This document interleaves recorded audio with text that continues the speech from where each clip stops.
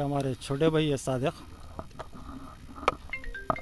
दिख रही ना भाई फ़ोटो क्लियर छोटे भाई है क्या उम्र है इनकी तो इनकी एक उन्नीस से बीस साल रहती है भाई। मगरिब में हुआ ये।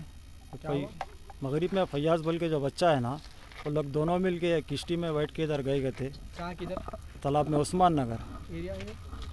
ये इंगड़ा उस्मान नगर एरिया लगता है ये। उस्मान नगर एरिया लगता है। शाहीन नगर के अंदर आ रहे हैं हाँ आता जलपल्ली म्यूनसिपल में आता है।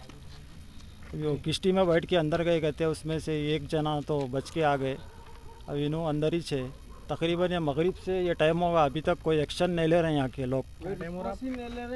तकरीबन साढ़े दस हो गए भैया। दस चालीस हो रहे हैं। अभी तक कोई एक्शन नहीं है यहाँ पर। उनका बड़ा भाई हूँ मैं।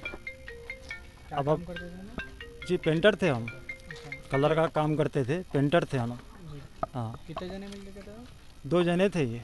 हम्म। दो जने थे तो लोग। क्यों गए? क्या है कुछ मालूम? इन्हों ऑलरेडी घर पे थे मगरिब में वालदा कुछ चाय बनाए थे कहते चाय दे के फैयाज बल के जो बच्चा है उनको फ़ोन करा तो इन्हों फ़ोन आया तो बाहर निकले इन्हों फ़ोन आया तो बाहर निकले इन्हों हम्म। उसके बाद थोड़ी देर के बाद ऐसा हादसा सुने भाई। पुलिस एक्शन नहीं ले रही? कोई एक्शन नहीं ले रहे।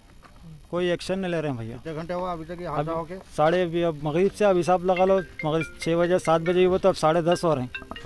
पाँच पाँच छः घंटे हो गए। अभी अभी बोला तो अभी ठीक है मैं बात करा अभी आ रहा हूँ बोल के बोले। वाले कोई भी नहीं है अभी तक? कोई भी नहीं आया अभी तक तो।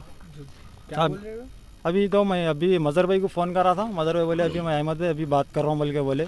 अभी तक तो कोई भी नहीं आया देखो भैया। पाँच छः घंटे होगा डेड बॉडी अंदर ही छः भी। क्या अपील है आपकी जी?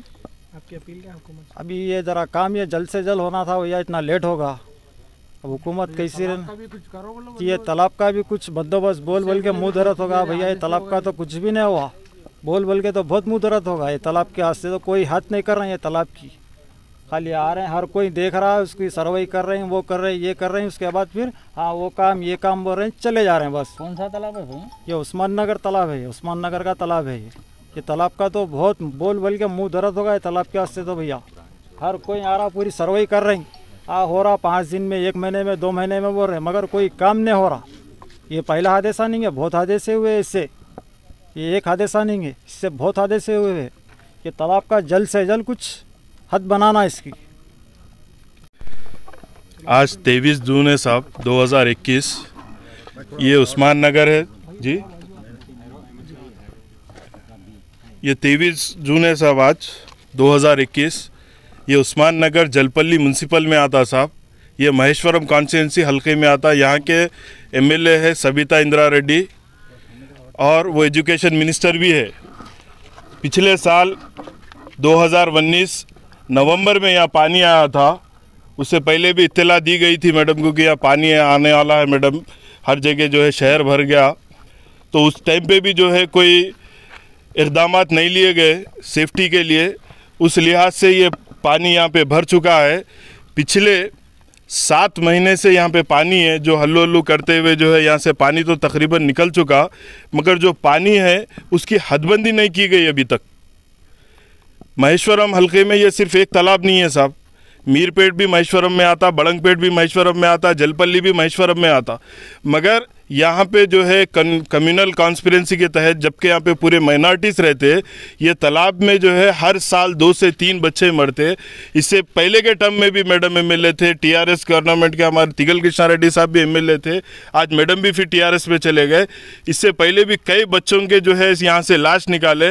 परसों गए सो रेनी सीज़न में भी जो है दो डेड बॉडीज मिले थे। अभी तक उनका, उन लोग कैसा इसमें गिरे थे, कैसा उनकी मौत हुई थी, उसके बाद अभी तक कोई कार्रवाई नहीं हुई।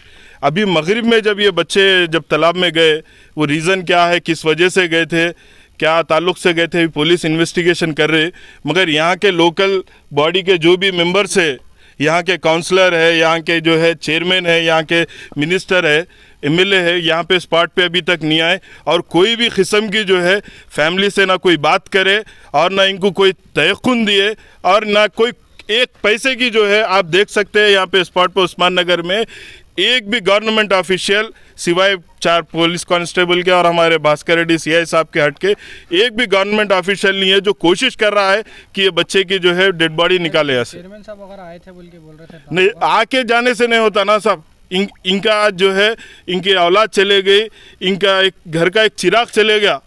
कम अज़ कम उसकी बॉडी तो निकाल के दे दो ना साहब आप। आप अगर हदबंदी कर देते थे, यहाँ पे आने जाने पे पाबंदी कर देते थे तो आज ये हादसा नहीं होता था। चलो ये हो गया, कोई भी मकसद से हो गया, मगर मैं गवर्नमेंट से, हमारे एमएलए मैडम से गुजारिश कर रहा हूँ कि जल्द से जल्द जो है, उस्मान नगर की जो है हदबंदी कराइए प्रॉपर तरीके से, कि कल के दिन जो है, कोई मासूम की जान ना जाए। आप लोग को कैसा पता चला ये डेड बॉडी का? बस यहाँ के लोकल मुकामी लोगों ने बताया कि दो बच्चे जा रहे थे एक बच्चा निकल के आ गया एक बच्चा अंदर ही है बोले तो इस तरीके से इतला मिली किस टाइम का वाक़या है ये मगरब के टाइम का वाक़ है